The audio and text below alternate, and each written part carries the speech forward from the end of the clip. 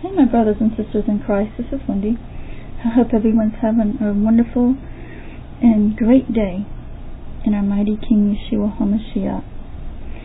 Praise God. Praise our wonderful, glorious, mighty, and merciful God for hearing our prayers. Because I received um, an update about Sister Barbara and that she's remembering, she's awake and that she's remembering things. Praise God. We'll still continue to pray for uh, complete healing because uh, I don't think she can move her arm or her leg. So we'll continue to pray for her. But we serve a mighty and awesome God. Praise you, Father. I praise your holy and mighty name. In King Yeshua's name. Amen and amen. Today, I will be reading um, Revelation 20, I believe it's 11 through 16. Yeah, Revelation 20, 11 through 15, and also Exodus 32, 7 through 14. So here I go. And I saw a great white throne, and him that sat on it, from whose face the earth and the heaven fled away, and there was found no place for them. And I saw the dead, small and great, stand before God, and the books were opened, and another book was opened, which is the book of life. And the dead were judged out of those things which were written in the books, according to their works. And the sea gave up the dead which were in it, and death and hell delivered up the dead which were in them, and they were judged every man according to their works. And death and hell were cast into the lake of fire. This is the second death, and whosoever was not found written in the book of life was cast into the lake of fire. Now I'll be reading Exodus. Exodus 32, 7 through 14. And the Lord said unto Moses, Go, get thee down, for thy people, which thou broughtest out of the land of Egypt, have corrupted themselves. They have turned aside quickly out of the way which I commanded them. They have made them a molten calf, and have worshipped it, and have sacrificed thereunto, and said, These be thy gods, O Israel, which have brought thee up out of the land of Egypt. And the Lord said unto Moses, I have seen this people, and behold, it is a stiff-necked people.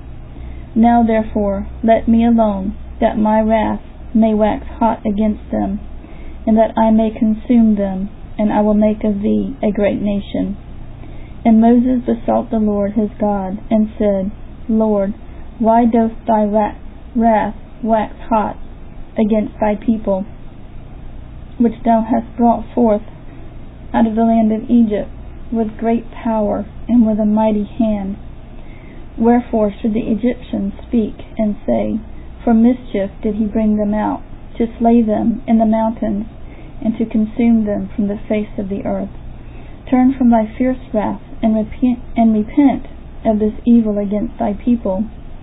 Remember Abraham, Isaac, and Israel, thy servants, to whom thou swarest by thine own self, and saidst unto them, I will multiply your seed as the stars of heaven, and all this land that I have spoken of will I give unto your seed, and they shall inherit it forever.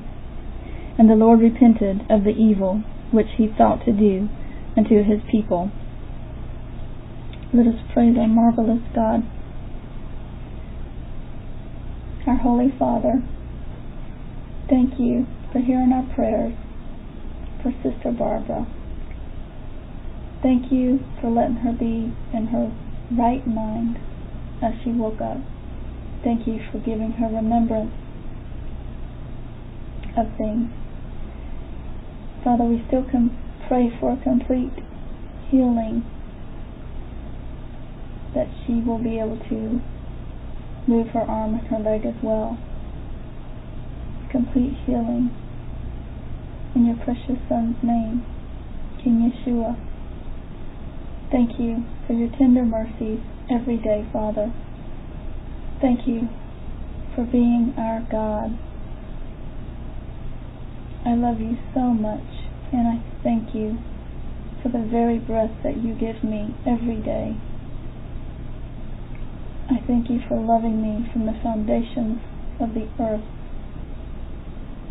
I thank you for providing for me, for all your gifts.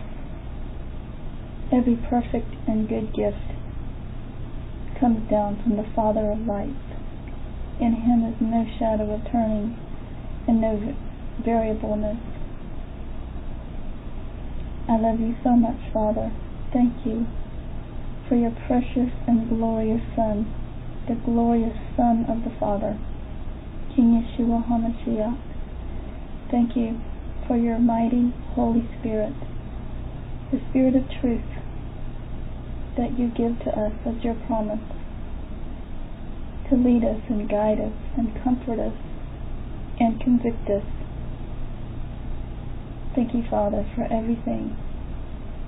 In King Yeshua's precious and holy, mighty, and gracious name. Amen and amen. I received this word on 17 October 2015 at 1 o'clock p.m. My dearest daughter, Wendi, write down your beloved Savior's words for my beautiful children to take in. My lovely children of mine, your mighty Savior is giving you another lesson today, straight from God Almighty. My preachers or leaders, most have went their own way and do not hearken to my voice any longer. Therefore I am telling you, my loves, my truth.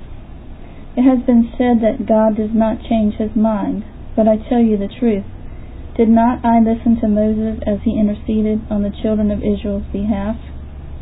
Children, do not get this confused with God does not change. I will never change my character, my love, my mercy, my grace. I am your all in all. I am your future, no matter if you believe in me or not. You will be confronted by me, and by my very word you will be judged. It will not be pleasant, that great day, when all the books will be open Every person who did not accept me, King Yeshua, will be judged at the great white throne judgment day. Afterwards will they be cast into fire and brimstone, where their worm dieth not. This is not a future that I want for anybody, but I know all of my children's futures and destinies. Yes, I know who will not ever repent to me with a full surrender. This breaks my heart. You will see my great disappointment that day, and you will be weeping and begging me for mercy when I have been offering my mercy to you all of your life on earth. My beautiful children, I am continuing my pleading with my creation. You do not want to be at the judgment. You do not. With me you will have such immense joy and peace, not just on earth, but in my heavenlies, for I will always take care of my holy children. I have spoken so many promises in my word. Go find them, my love. It will be the greatest hunt for treasure you have ever done. It is late, late, late, and soon no man will be able to work. I want to see all of my children in my ark. Much love, much pleading, your mighty and great King of kings and Lord of lords.